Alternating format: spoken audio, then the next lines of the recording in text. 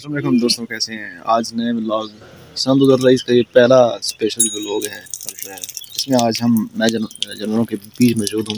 ये अभी इधर देखें, और यहाँ पे इस तरह, ये देख सकते हैं आप। और सर्दी आज सूरज निकला हुआ है लाइक दिस मेरे बीचों बीच आपने पीछे देखा होगा। और सर्दी है सूरज निकलने के बावजूद जानवरों का जो है ना वो आप हाल देख सकते हैं। ये हमारा छोटा मिट्टू जो है ना वो देखें ज़रा, इसकी तरफ़ देखें। ये क्या कर रहा है? बैक एंड पे। बिल्कुल जो है ना वो सुखड़ा हुआ हुआ है। धूप भी है, लेकिन इसके बावजूद जो है ना वो ये गाय देख सकते हैं आप, ये वाली भी पीछे जो है ये भी जो है ना वो सर्दी की वजह से जो है ना वो बेहाल हो चुकी है। लेकिन दिन को सूरज निकल आता है हमारे यहाँ। थोड़ा सा धुंध है। ये देखें ज़रा पीछे बैक हैंड पे। ये वाली। लेकिन इसके बावजूद अलहमदिल्ला यहाँ पे मौसम अच्छा है। अभी हमने इनको निकाला है, सूरज निकला है। तो ऐसे तो हम इनको अंदर ही रखते हैं, जब तक सूरज ना निकले। तो ये रही जी हमारी मुर्गी, पीछे बैक एंड पे। और तीन बच्चे दिए थे। एक बच्चा तो बिल्ली ले गई थी, लेकिन दूसरे ग्रो हो रहे हैं, माशाल्लाह। आप देख सकते हैं। ये देखें। ये वाली जो मुर्गी है ये यहाँ पे जानवरों के बीच में ही रहती है, ऊपर नहीं जाती, दूसरे जो हमारे घर में तो माशाल्लाह यहाँ पे ख़तरा बहुत होता है, लेकिन ख़तरे के बावजूद जो ना, वो इसने संभाल के बच्चे रखे हुए बड़ी बात है। डोगी हमारा साथ ही सोया हुआ है। इसकी स्पेशल ड्यूटी यहाँ पे होती है। और और छोटे जो बकरे हैं उनको ऊपर ले गए हैं शिफ्ट कर दिए अभी, यहाँ पे बकरियों के साथ जो है ना, वो दूध दिलवाया और फिर उनको ले गए अच्छा जी, और चलते हैं। गाँव की तरफ़ तो यहाँ पे आपको सुबह सुबह का वक्त है, सर्दी है थोड़ी थोड़ी और यहाँ पे सूरज के किरणें अभी शुआएँ जो हैं वो पहुँची हैं अभी। और माशाल्लाह बहुत ही अच्छी लग रही हैं। बताया करें कि आप क्या देखना चाहते हैं? गाँव के हालात कैसे देखना चाहते हैं? ये हमारी बकरी है वो वो वाली पीछे। इसकी भी एक बकरी है वो जो खूबसूरत सी, बड़ी सी जो गुड़िया के साथ आपको दिखाई थी। और जो दूसरे मुर्गे हैं वो अभी बंद ही हैं, उनको खोला नहीं है क्योंकि वो बहुत गंद डालते हैं यार। वो इतने जो ना गंद डालते हैं कि पूरा घर ही जो ना घर वाले भी शोर मचाना शुरू कर देते हैं यार, कितना गंद डालते हैं। तो उनको उधर बंद रखा हुआ है, थोड़ा सा लेट खोलते हैं क्योंकि अभी सर्दी है।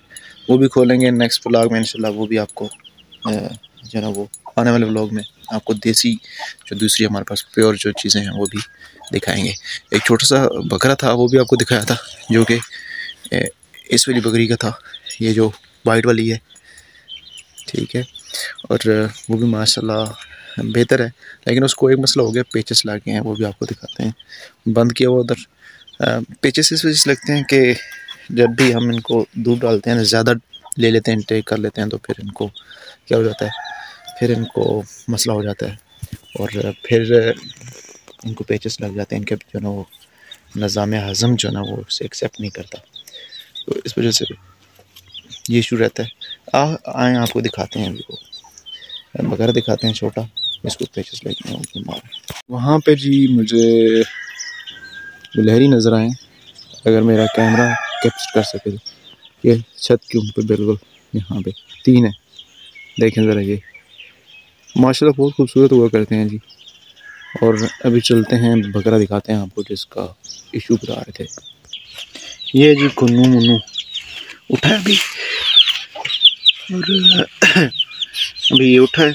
और आप देख सकते हैं कि अभी ये चल सकता है सही। पिछले जो पहला व्लॉग था, उसमें ये चल नहीं सकता था, अभी चल रहा है, भाग रहा है।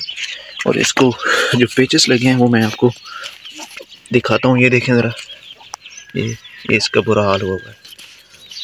और इसको नज़ला भी लगा हुआ है। ये देखें, इसको दवाई दी है, लेकिन सर्दियों की वजह से जो है ना, इसको बुरा हाल है। जिसको थोड़ा सा चलाते हैं। ये देखें ज़रा।